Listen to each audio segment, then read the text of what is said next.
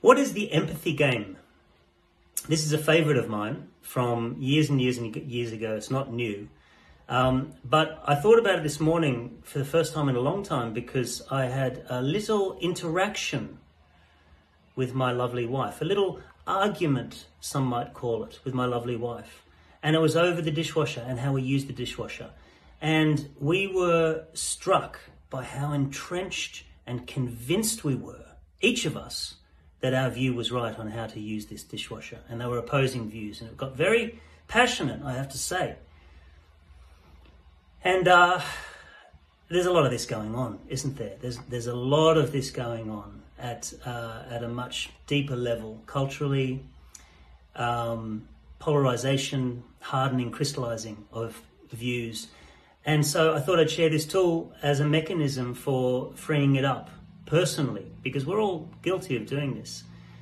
Um, the situation in which you would use this tool is if you start to find yourself labeling the other person with whom you disagree as mentally unwell, as a crazy person, as uh, as as somehow you know um, disconnected from reality, lacking in common sense. All of these things, all of these in, things indicate that most likely you have lost the capacity or the willingness to uh, to actually see things in a different way.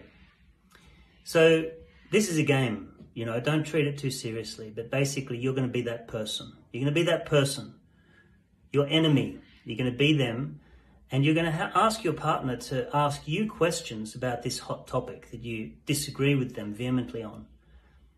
And the golden rule is that you have to justify their position. And you can't justify it by saying, you know, because I'm stupid or I'm ill informed or because I'm lazy or no, no, no. You have to really genuinely find reasons why you believe this and why you see things the way that you do. And you have to be as convincing as possible, or else you lose the game. So, what you will find is you will find if you do this for five or ten minutes, it happens very quickly, you will find yourself relax. You'll find yourself maybe even be able to think of the person in a less with in a, in a calmer way and and and possibly even start to just naturally operate with that person differently. So what I hear from people when we do this activity is actually I didn't need to do anything different because that person just started operating differently with me. Now, of course, they didn't. What they did was they responded to how you were being with them, and you're being different with them. Unconsciously, you're being different with them because you've given them more space. You've given them more generosity and more empathy. um, so I share that with you to use as you wish. It's a bit of fun. It's also quite profound. Um, take it as you will and have a great week. I'll speak to you next week.